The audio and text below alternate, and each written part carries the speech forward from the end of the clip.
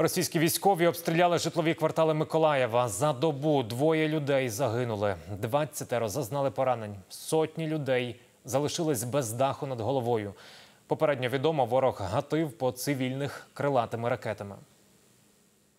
Такое ощущение, как будто это как ядерный взрыв произошел. Но это очень страшно. И ты не знаешь, кого спасать. В первую очередь ребенка, и животные, и соседи, и Російські війська діяли підступно зранку, коли люди ще спали по житлових кварталах Миколаєва, завдали ракетний удар.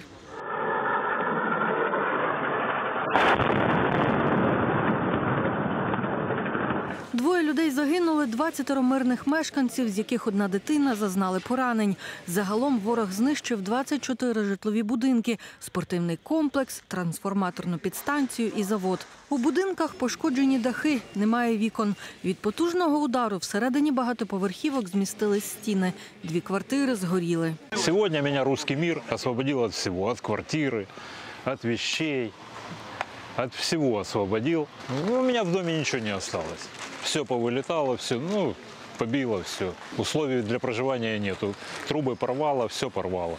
За три місяці повномасштабного вторгнення цей обстріл став наймасштабнішим. Сотні людей втратили дах над головою. Десятки будинків залишились без електрики і газу. У дворах міська влада розгорнула штаб з ліквідації наслідків. людей, которые необходимо нуждаются в помощи, мы собираем вот там ту информацию. Правильно? В первую очередь люди записываем. Кому нужен выезд, кому нужен там, ночлег, кто остается. Да. Дальше. Разбор завалов, осмотр крыш. Комунальники одразу почали розчищати будинки і двори, електрики і газівники лагодити мережі. Людей, що залишились без житла, розмістили у притулках для переселенців. Пошкоджені будинки охороняють від мародерів. Е, Ми надаємо сюди всім, кому необхідну плівку для того, щоб з, е, окна прикрити, а також ОСБ плиту. Найближчим часом ми хочемо звернутися до фонду придбати двері, бо багато людей повилітали вхідні двері. Проблема в тому, що потрібно дістати необхідну кількість цих дверей.